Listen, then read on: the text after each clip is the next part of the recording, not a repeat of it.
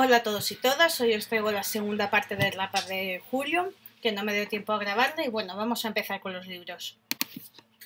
Por una parte leí Eclipse de Crepúsculo, que es la tercera parte de esta saga de Stephanie Meyer. Quizás me ha gustado esta parte más que las otras dos anteriores, veréis el... Ahí ves que se ve el foco que tengo puesto. Me ha gustado eso más que las dos anteriores. Veréis antes o después de este vídeo alguna reseña del más en fondo, pero me encanta, eso sí, hay que leer las dos anteriores para poder entender mejor esta parte. También me he leído la primera y la segunda parte de Death Note. La primera parte es aburrimiento y la segunda parte es confluencia. Ambas dos me han encantado, es de norma editorial, de los mismos autores que, que Bakuman, no me sale ahora. Me está enganchando muchísimo, quiero saber más.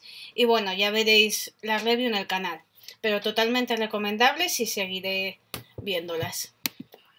Y luego por último, el último libro que leí fue este, Asesinato en el Kremlin, de Alejandro M. Gallo, editorial Rey Lear.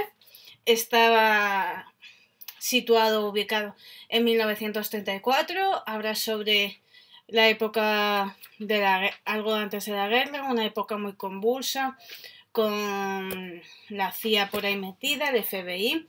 Me ha encantado. Es un libro con mucha trama, aunque puedes llegar a liarte con los personajes, pero sin duda recomendable totalmente. Y bueno, hasta aquí la segunda parte de la PAP. Como siempre espero que os haya gustado, que le des a me gusta, suscribáis a mi canal y lo compartáis en todas vuestras redes sociales y muchísimas gracias por estar ahí.